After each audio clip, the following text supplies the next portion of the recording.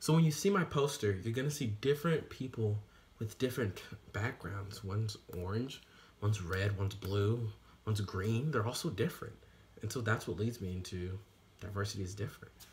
All right, kids, can I have your attention, please? Today we're about to talk about diversity. Yes, we've heard this same spiel all the time about coming in, we're going to do diversity programming, and we're about to talk about diversity and inclusion, how we're going to really engage people and bring people together.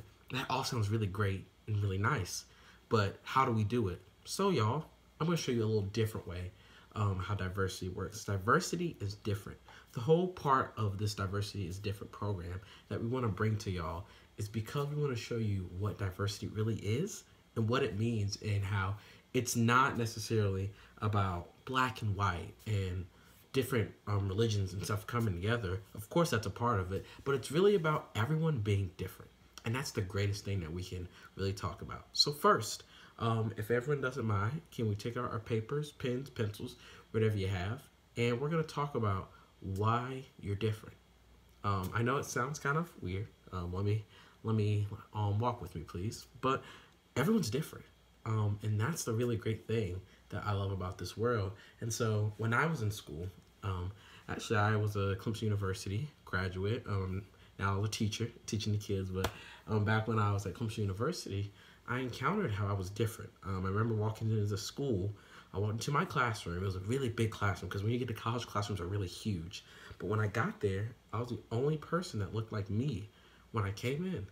And I was the only type of person with my skin color. And I wondered, hmm, this is a little weird, different. It's different from where I grew up. It's different from my high school.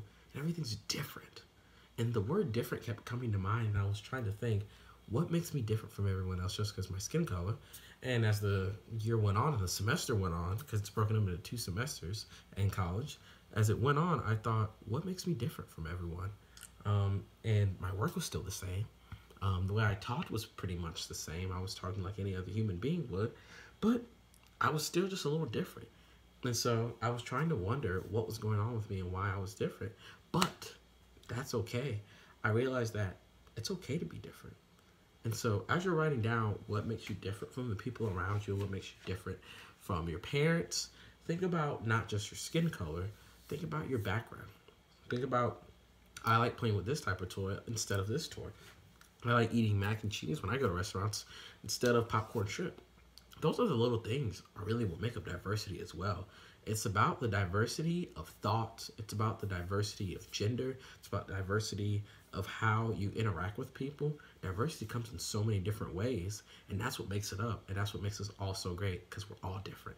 And that's why I love talking about diversity and really preaching this new program of diversity is different. So anyone wants to use the hashtag diversity is different. Plug it take a picture with your classrooms with your teammates with anyone what have you. Talk about why we think diversity is hashtag different. There you go